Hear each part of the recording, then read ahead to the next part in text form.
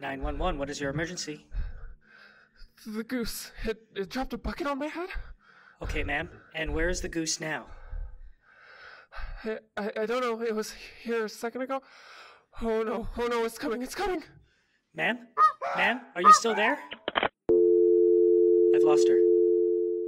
This is just one of the many frantic 911 calls received after several days of goose related incidents at Ottawa's Carleton University. Students and staff now find themselves under the stress of an increasingly dangerous campus.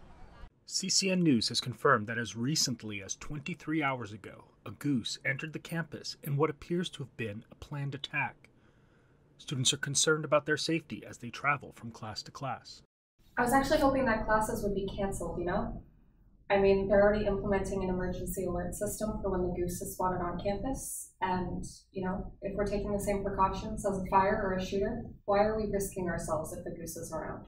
Everywhere on campus, objects have been moved slightly out of place, knocked over, or are missing entirely. Students and teachers have been mildly inconvenienced in various horrifying ways.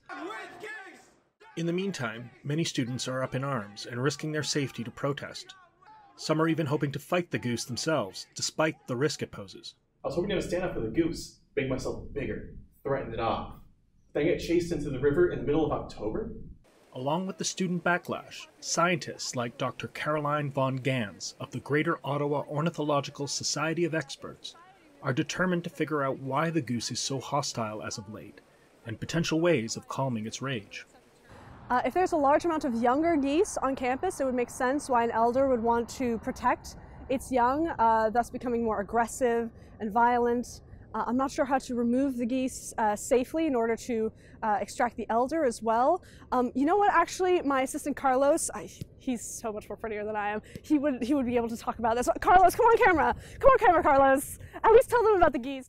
Carleton Security reports that they do have a suspect goose in custody, and interrogation experts are now trying to determine what the cause of this heinous attack might be. In the meantime, the Carleton student body can only wait and wonder. Anser Pirrandi, CCN News, Ottawa.